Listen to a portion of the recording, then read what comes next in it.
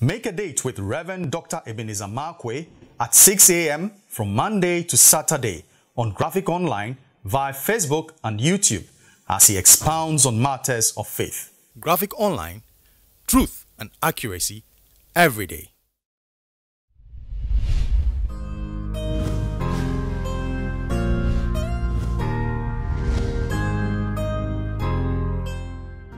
Hello, this is Reverend Dr. Ebenezer Markwei of Living Streams International, bringing you matters of faith with Graphic Online.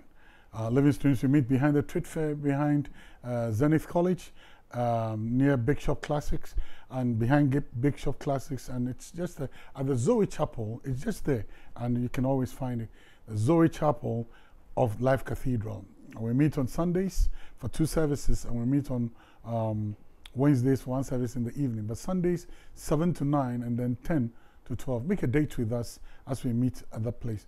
But this morning, I'd like to capture my thoughts on, with this word, blame game percussions. You know, the, the story of Adam and Eve is, is a very, very interesting story in, in Genesis chapter 1 all the way to chapter 3, especially chapter 3. Now, guess what? When God saw the need of Adam and God recognized that this guy, I mean, he really needs help. I mean, what my friends would say, man, nipa hiamwa. You get it? Man needs help. Man can, they need help. Something like that. And then, I mean, God said, uh, let me give him something. And God created one of the most, that is the apex of creation. The apex of creation is womanhood. The apex of creation, that's the beauty of all beauties, came out from the side of Adam and that was women. Whether we like it or not, I mean, they would remain the apex of, of creation. And uh, she was fascinating to, to Adam. She was very fascinating because Adam, I mean, never raised a prayer to God and said, Blessed be the name of the Lord who has given me a woman. But look at what Adam said. Wow, this is, the, this, this is bone of my bone and flesh of my flesh. And Adam said, She shall be called woman. You get it? That is the womb of the man. Now, and uh, I, I, I really like that. I mean, very, very good. So Adam didn't even thank God for Eve. Adam even didn't praise God for Eve. Adam didn't even raise a finger to speak in tongues. He never did that. But his first praise, his, his, his worship, the object of his worship, the object of his praise, the object of his appreciation, the object of his applause was an affirmation, was Eve. Wow. Now, that, that, that is something very interesting.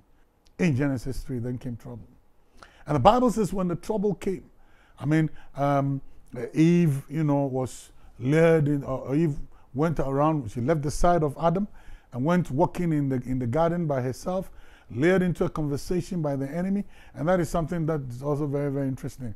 Her curiosity, the curiosity of woman. I mean, they would ask one question, follow it up with another question. Insatiable curiosity. And that's it. So the uh, women are the object of discernment uh, in, in, in every relationship. So they can see, they can discern.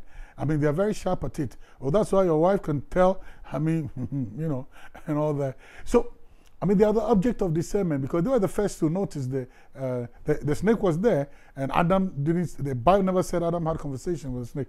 But Eve would discern the snake, but she would have conversation with the snake. So the problem of Eve is her mouth. But look, when trouble came, Eve took that uh, apple and ate the apple and then went and stood in front of uh, Adam and said, uh, let me say it in my, one of our local language, I'm not very good at it. He said, Adam, who are you? Maybe I. Maybe I. I mean, Adam, would you chew? He said, mm, I'll chew, I'll chew. So guess what? Eve chewed the apple, Adam also chewed the apple. A very interesting way of describing that whole transaction. Yeah, they didn't just bite it, they chewed it. And God came to town. And when God came to town, this is where the blame game percussions began to roll. God said to Adam, What have you done? And then Adam said, The woman. And then asked Eve, What have you done? She said, The snake. Now, guess what? Adam said the woman. Adam refused to take responsibility for what he had done wrong and rather passed the buck to Eve and said it is Eve's fault. Eve also refused to take blame for what she had done and she passed it on to the snake. This is a crucible that humanity constantly walks in. This is a valley that humanity walks in. We never like to accept blame for the things that we did wrong. We rather want to apportion the blame to someone else. Every time it is someone else's fault and not you. And sometimes when we go to tell the, our story, I mean, uh, of what went wrong, we tell our story to solicit the sympathies of our listeners. And the whole blame lies on the other person. No one ever comes forward and says, I did it wrong. And maybe that's why that person did something wrong. The blame game keeps going on. Fathers are blaming mothers, mothers are blaming children, and all those other things. Two uh, young people get into a tango in, in bed, and the results and certificate of performance comes through. I mean, then the, the young man will say, She tempted me. For what? She did not tempt you, it was your lust.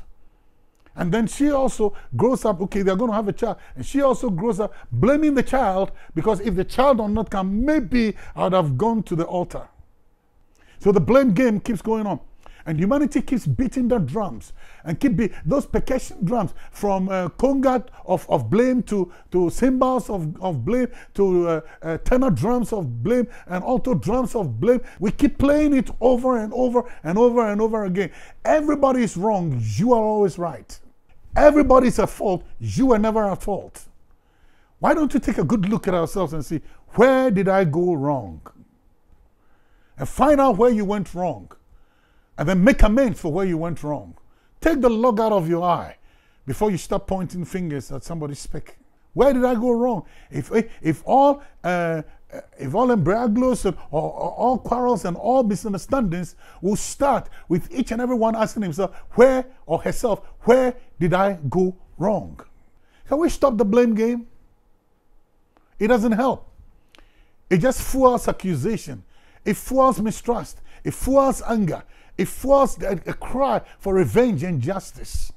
They say, I say, they say, I say, he said, she said, and all those things. Why don't we stop the blame game? Listen, we have a choice to stop the blame game percussions, to stop beating those drums, or we have a choice to continue it. Look into yourself and see where you went wrong and accept responsibility rather than pass the buck. It's still a choice. See you later.